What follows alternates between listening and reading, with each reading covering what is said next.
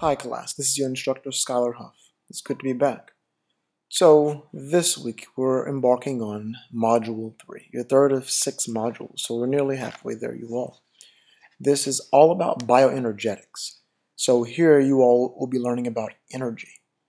Energy class will be taught to you all in Chapter 5. So upon going through Chapter 5, make sure you take your time to understand the process by which plants harness the energy of the sun and convert that along the way with water and a bit of carbon dioxide and light energy into what they need, the form of sugar, the carbohydrate. Specifically, we'll say glucose. So upon finishing chapter 5, which is there for photosynthesis, you'll then get to the next of which, and thereafter you'll be getting into how enzymes function. So enzymatic reactions class are reactions in which the activation energy is lowered by enzymes, ensuring that the enzyme is not consumed by the reaction and can be reused again and again and again by the substrate, as long as the substrate is available. The, and then finally, you'll get into the process of synthesizing energy by way of cellular respiration, happening in the mitochondria of eukaryotic cells. So I'll tell you, you have three whole chapters. Yes, that is three chapters to complete or across three weeks. So, of course, among the way, or at least along the way, next week being the holiday for Mardi Gras, we will be out of school Monday and Tuesday. So please, I hope you've gotten a head start on things upon completing your second module. So with that being stated, you do have an extra week. There are three weeks this time, but that doesn't mean you all should procrastinate, not at all.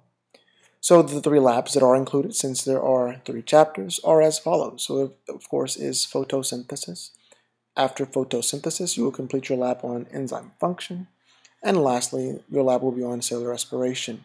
So those are your three labs to complete. As always, your tests will be completed via the Respondus Lockdown browser. Please ensure that you have allotted ample time to complete the test before the deadline.